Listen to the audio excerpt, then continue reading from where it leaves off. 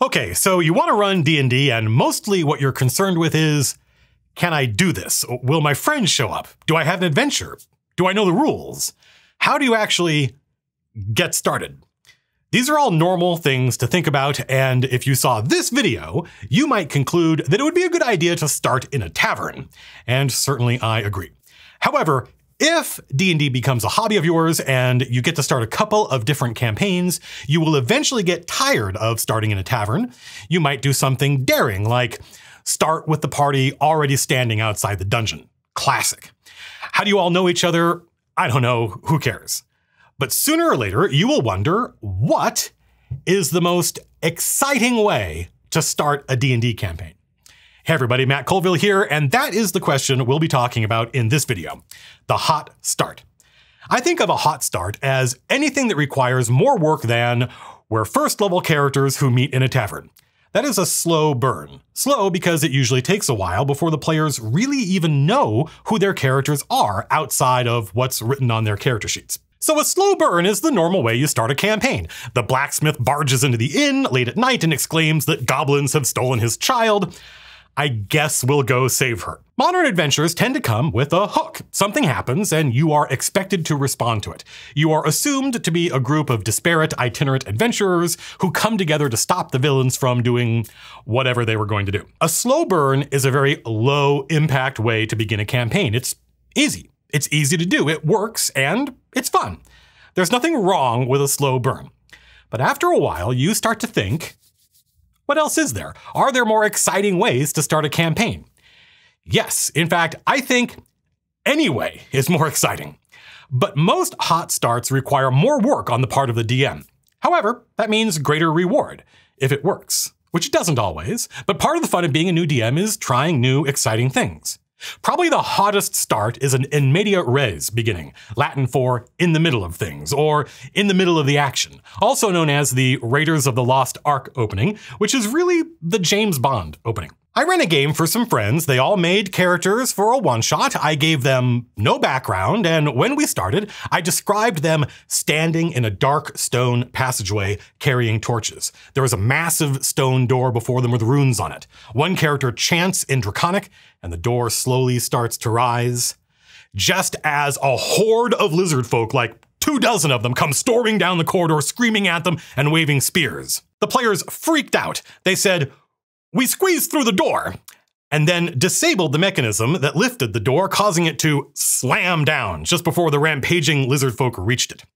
Turning around, they saw stone stairs leading down into the darkness, into the second level of the dungeon. That was the first 60 seconds of the adventure, and it was great. Very dramatic and a fantastic way to start a one shot. All I did was I took Against the Cult of the Reptile God and I threw out the first 80% of it. I thought, we'll start with the end of the adventure, just the bottom level of the dungeon finish it, then go back to town to get the next adventure. Just as the next adventure is getting exciting, we'll stop on a cliffhanger. And then folks will be motivated to want to keep playing. That didn't work, by the way, because instead of picking one of the three ways to proceed down to the end of the dungeon, the player spent the entire day exploring all three passageways. That was an important lesson. I gave the players choices in the wrong place. The opening dungeon should have been linear. Then they'd get back to town and have a choice of adventures there. That would have worked.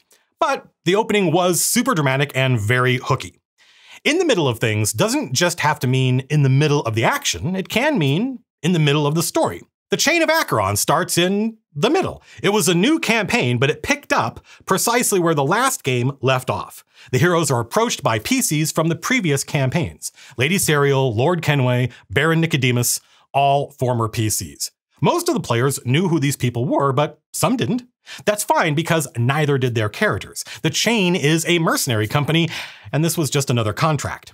The real hook for the opening, the thing that made it a hot start, was my decision to open the campaign by having the villain kill a PC in the first battle. But I didn't just pick a random PC and have a demon lord eat them. Phil and Lars were in on the conspiracy. I asked Phil and Lars who would lead the chain, and Phil said he was down, so I had Lars make a fake character the captain, designed to die in the first episode. This was incredibly dramatic and effective because none of the other players knew there was a conspiracy. They all believed what they saw was real. They all believed I murdered a real PC in the first session, and it set the tone for the entire game. It left them with the impression that life was cheap in the chain without anyone actually losing a character they liked. I knew this would work because I'd done it before. Back when I worked at Pandemic Studios, the same exact opening, same gambit, and it worked then too. The only problem was we started crunching on Mercenaries 2 and we had to stop. So the chain was an opportunity to actually play out that old campaign that never got off the ground. I didn't have to explain to the players why Ajax was the bad guy. They experienced it. He almost destroyed the entire company. Now they hate him. They like hating him. They have a reason to hate him. It was a way to roleplay through the backstory of the campaign. Instead of saying, okay, you're a mercenary company who barely escaped destruction, and you arrive in capital to lick your wounds and rebuild, they played through the destruction of the chain. Everything up to the point where they arrived in capital was prologue. I love that trick of playing through your character's backstory. I've done it a couple of times. Probably the most successful was the Birthright game I ran for about three years straight. I started by picking three prime mover players.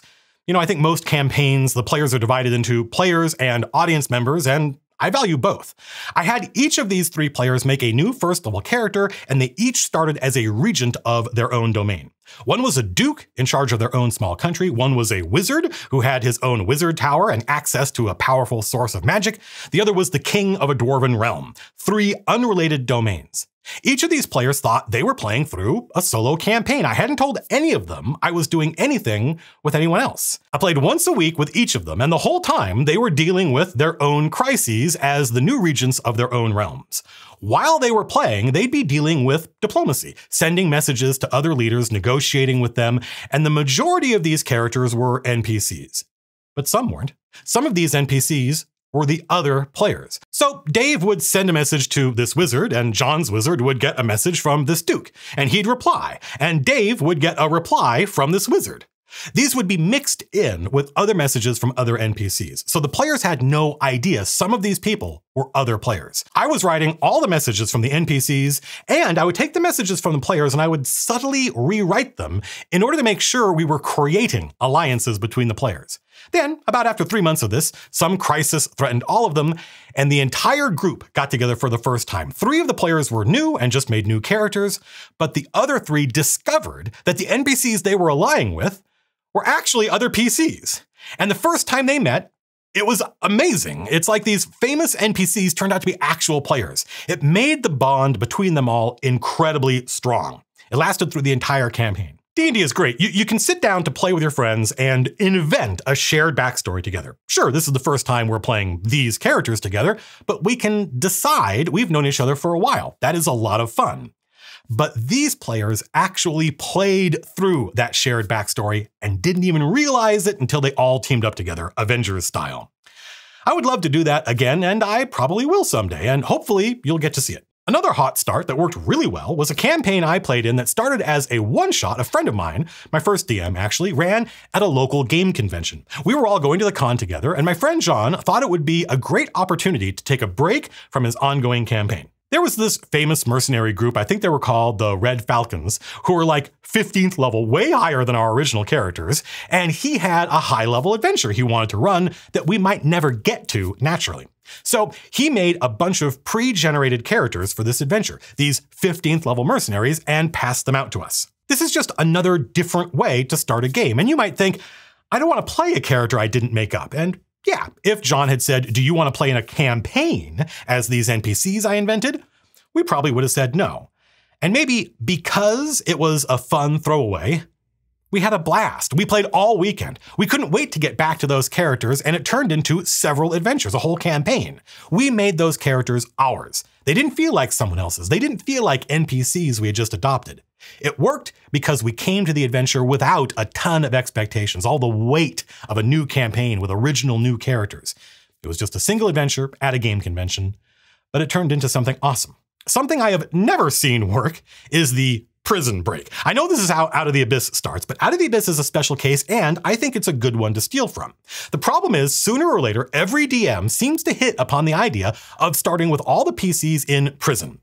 This is not a bad idea. But for some reason, this idea is naturally accompanied by the idea that your character has no gear. Okay, that makes sense. But also amnesia and often no character sheet. I don't know why this incredibly specific idea is so popular, but I have seen it crop up dozens of times in different campaigns. And the problem with it is it puts too great a burden on the players. The DM sets up this scenario and then sits back and asks, What do you do? I think this is an attractive idea because it seems very dramatic. Each detail seems to layer on more drama. But what the DM doesn't realize is that they've basically created the most frustrating scenario possible. I don't know who I am, or what my character can do, or why I'm in jail.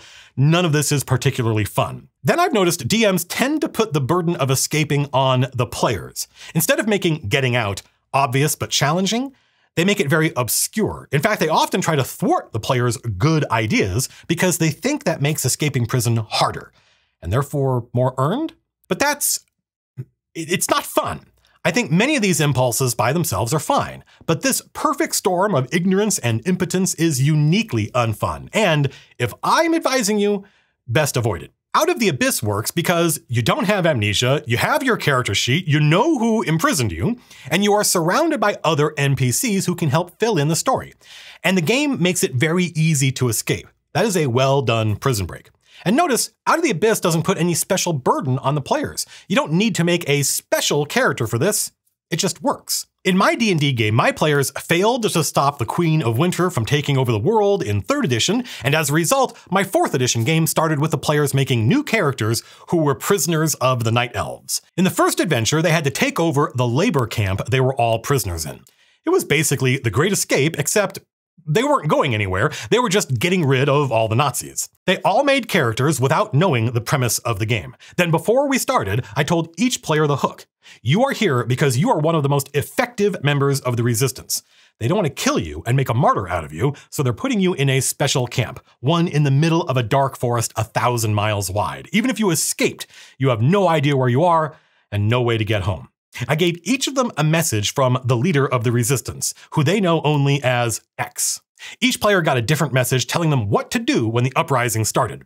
There were weapons hidden around the camp, some of the guard towers were booby trapped. We start playing, and the players spend about the first hour just getting used to being prisoners in this prison camp and dealing with the guards. Then, a fight breaks out, and the game was on. We were playing D&D, and the players were using their new characters to fight the leaders of the prison camp. A first level character in 4th edition is already a hero, about as tough as a third level 5th edition character, so all of this was plausible. The players had a lot of fun inventing new ways to thwart the guards and sow chaos, and it was just a blast. Everyone thought another player was X, and then X turned out to be an NPC who died during the uprising, leaving the players to their own devices. This worked incredibly well. Defeating the guards was challenging, but obvious. Then the players found themselves in the middle of a massive trackless forest with 47 other NPC prisoners to care for and a violent world to investigate. Every session in that game, something amazing happened. That was a hot start, a setup. The players are together for a very specific, elaborate reason, and it requires some buy-in. Some people ask me about session zero. I think the most important thing you need from your players is buy-in. That's what the pitching your campaign video is about. Another prisoner related campaign I played in was The Condemned, run by my friend Jordy. This is another 4th edition game and it was a blast. Our characters were each prisoners sentenced to death. We are given the choice to either face our sentence or go on what will probably be a suicide mission for a special government department. If we succeed, our records will be erased and we'll be free. This was awesome for a lot of reasons. It let us all make characters we would never normally make. It was the best evil campaign I ever played in, because there was never the opportunity for any real inter-party conflict. Our characters each had a collar around our necks, and if we didn't follow orders, it would explode. If we tampered with it, it would explode. If we fought amongst ourselves, it would explode. In fact, we were going to have to work very hard just to stay alive. The result was very cinematic. We bickered, we sniped at each other, there was a lot of showy bravado, but it was all to further the story. It was all in genre, and we all played along. One of my friends got to play like a, a, comic book psychopath, like Mr. Hyde from the League of Extraordinary Gentlemen. I got to play the head of an enemy spy network. It was super fun, one of my all time favorite characters. Each of these examples involved a lot of artifice. None of them are standard openings to a campaign. Not all of them begin in the middle of the action, but all of them come up with a dramatic, unique reason for the players to know each other. And I made this video because I wanted you to think about more interesting ways to start a campaign, but I also just wanted to give you a bunch of ideas to inspire you. I feel confident something in this video has sparked an idea in your head, even if it has nothing to do with any of these examples. What is the most exciting start to a campaign you've experienced? Let me know in the comments below. I read all of them. That's it, folks. That is the hot start video. I hope this inspires you to try something crazy in your next campaign. If you like this video and want to help support the channel, come by our store. You can pick up a copy of Strongholds and Followers or pre-order Kingdoms and Warfare. Also, we have a ton of dope minis in there you can pre-order that will be available next year. If you want an alert when we upload a video, click the bell icon down there. You can follow us on Twitter, and we have an incredibly popular Discord, as well as a great subreddit if you want to just hang out and talk about nerd stuff. Links to all this in the doobly-doo. Finally, Every time we do a new video, we do a live stream here on YouTube at 11 a.m. on Friday. The last one was a blast. It was about two hours, lots of great interaction, great questions. Come hang out. It's always cool. Until next time, peace out.